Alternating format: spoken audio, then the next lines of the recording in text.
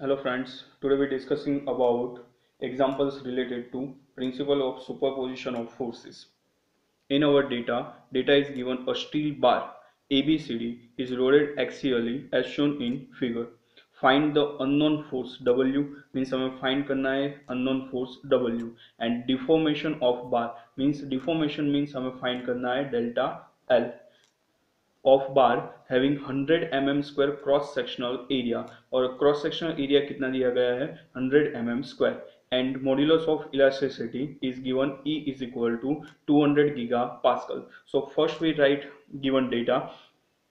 In given data, unknown force कौन सा है? W.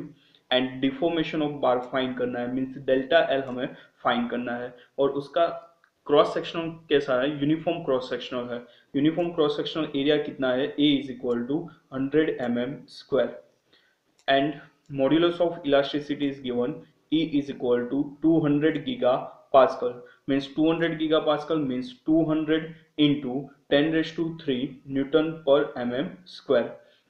So first in figure one bar is given.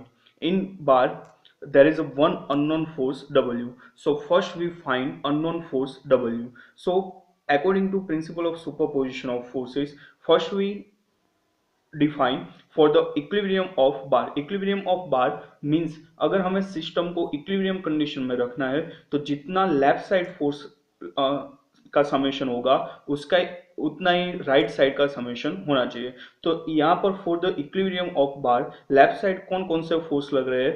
80 left side लग रहा है और similarly 20 newton 20 kilo newton force भी लेफ़्ट साइड लग रहा है। मींस लेफ़्ट साइड जो फोर्स लगता है, उसका समेशन कर दो। सो so, उसका समेशन क्या आएगा? 80 प्लस 20 और राइट right साइड कौन कौन से फोर्स लग रहे हैं? राइट साइड फोर्स लग रहा है 50 kilo newton and W so right side equilibrium में राइट साइड कौन कौन से फोर्स लग रहे हैं? 50 kilo newton plus W so इसको सॉल्व कर दे। तो डब्ल्यू कितना आएगा? W is equal to eighty plus twenty minus fifty so कितना फोर्स आएगा? 80 plus twenty hundred minus fifty means fifty kilo newton so W इसको is equal to fifty kilo newton और डायरेक्शन कौन सी रहेगी? जो फिगर में जो डायरेक्शन है, वही डायरेक्शन रहेगी। अगर यहाँ पर हमारा आंसर माइनस में आता तो डब्ल्यू की डायरेक्शन को चेंज कर देते तो फ़र्स्ट स्टेप में हमने क्या किया? इक्विलिब्रियम ऑफ़ द बार के लिए हमने क्या किया कि जितने लेफ़्ट साइड फोर्स लग रहे हैं, उसका समेशन किया। Is equal to right side जितने फोर्स लग रहे हैं, उसका समेशन किया। तो 80 प्लस ट्वेंटी लेफ़्ट साइड लग रहे थे और 50 प्लस डब्ल्यू राइट साइड लग रहे थे। So so 80 plus twenty is equal to 50 plus W so W we find 50 kilo newton और अगर यहाँ पर आंसर माइनस में आता तो इसकी डायरेक्शन हम चेंज कर देते। अब सेकंड स्टेप में क्या करना है? टोटल कितने ब्लॉक दिए गए हैं? तीन ब्लॉक दिए गए हैं। तो तीन ब्लॉक को इंडिविजुअली ड्रॉ कर लेते हैं। First block second block and third block first block में फ़र्स्ट ब्लॉक में कितना फोर्स लग रहा है? 80 kilo newton so 80 kilo newton force लग रहा है. सो so, 80 किलो न्यूटन हमने डायरेक्शन रखी. So so, 80 kilo newton so so, 80 kilo newton force लग रहा है to maintain system in equilibrium and equal and opposite force 80 kilo newton is required so यहाँ पर 80 किलो न्यूटन अगर इस direction में लग रहा है तो इसको इक्विलिब्रियम कंडीशन में रखने के लिए ऑपोजिट 80 किलो न्यूटन फोर्स हमें अप्लाई करना होगा। सो so, यहाँ पर 80 किलो न्यूटन लग लिया। अब इसको सॉल्व कैसे करना है सेकंड बार को? यहाँ पर हमने अगर ज़ीरो हम यहाँ पर एज्यूम कर ले यहाँ पर हमने 80 किलो न्यूटन फोर्स अप्लाई किया।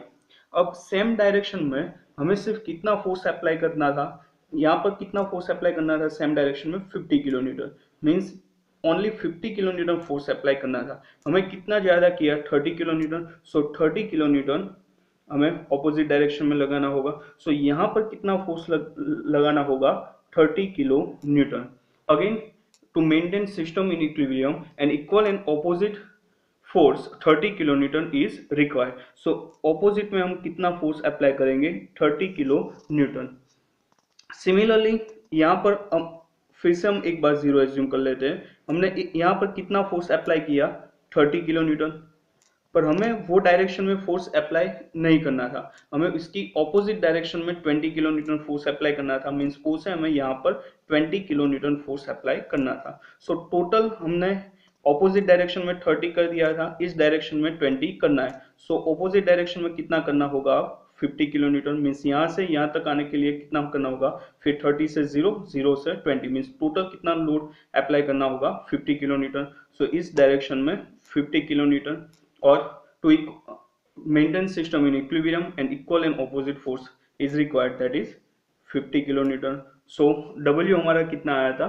50 kilo newton so W is equal to 50 kilo newton so so, एक बार मैं फिर से रिपीट करता हूँ कि यहाँ पर अगर हमने 80 किलो न्यूटन फोर्स अप्लाई किया सिमिलरली यहाँ पर हमने 80 किलो न्यूटन फोर्स अप्लाई किया इस सिस्टम को अगर इक्विलिब्रियम कंडीशन में रखना है तो ऑपोजिट में हमें कितना अप्लाई करना होगा? 80 किलो न्यूटन अगर हम यहाँ पर ज़ीरो एज्यूम कर ले यहाँ पर हमने अप्लाई किया 80 किलो न्यूटन और हमें उस डायरेक्शन में ओनली कितना फोर्स अप्लाई करना था? 50 किलो न्यूटन मीन्स हमने कितना फोर्स ज़्यादा अप्लाई किया 30 kilo newton so 30 kilo newton back आना होगा। सो 30 किलो न्यूटन फिर से सिस्टम को इक्विलिब्रियम करने के लिए ऑपोजिट में 30 किलो न्यूटन फिर से हम हम ज़ीरो एज्यूम कर लेते हैं यहाँ पर। हमने अप्लाई किया 30 किलो न्यूटन और उस डायरेक्शन में फोर्स अप्लाई नहीं करना था। उसके ऑपोजिट में कितना फोर्स अप्लाई करना था? 20 किलो न्यूटन मीन्स ज़ीरो से ऑपोजिट में अप्लाई करना था 20 यहाँ पर हमने 30 किया था। सो टोटल अब कितना फोर्स ऑपोजिट में अप्लाई होगा?